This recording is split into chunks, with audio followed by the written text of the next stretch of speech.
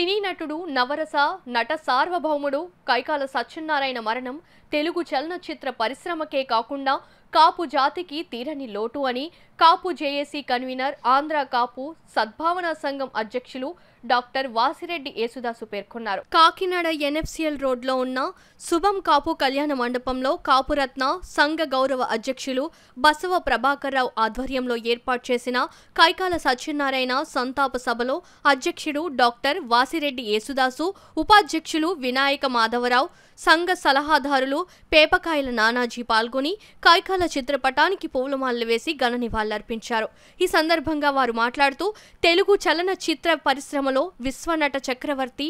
SV Rangarao తర్వాత కైకాల సత్యనారాయణ ఒకరని కొనియాడారు. ఆయన నటన ద్వారా ఆభాల గోపాలాన్ని కూడా మెప్పించారని అలాంటి మహానటుణ్ణి కాపు సంఘం తరపున గుర్తు చేసుకోవడం జరిగిందని తెలిపారు. ఈ కార్యక్రమంలో ఆంధ్ర కాపు సద్భావన సంఘం కార్యవర్గ సభ్యులు వెంకటేష్ నాయుడు దామిశెట్టి శ్రీనివాస్ సీతయ్య దొర బిందాన సురేష్ రెడ్డన్న రాజా రెడ్నన్ రాజా వాసిరెడ్డి జ్యోతి వీరకుమార్ జంక్షన్ బాబ్జీ నిమ్మకాయల వెంకటేశ్వరరావు నిరంజన్ నాయుడు జొన్నాడ వెంకటరమణ బావిశెట్టి వీరభద్రరావు పిడుగు మురళి ఆకేటి సత్యనారాయణ కర్ణంసుల సత్యనారాయణ చిలకల శ్రీను తదితరులు పాల్గొన్నారు. ఒక నటుడిగా పరిచయం అయిన కార్యక్రమాలు అందరికీ కూడా తెలుసని చెప్పి సందర్భంగా నవరసాల నట సార్వభౌడు నవరసాల నట సార్వభౌడుగా బిరుదు పొంది తెలుగు ప్రజల గుండెల్లో నిలిచిపోయిన వ్యక్తి కైకాల సత్యనారాయణ గారు. అయినా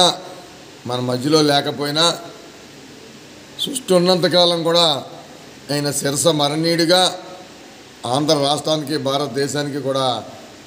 పరిచయకులుగా ఉంటారని చెప్పి సందర్భంగా తెలియజేస్తూ వారు ఆత్మశాంతి కలగాలని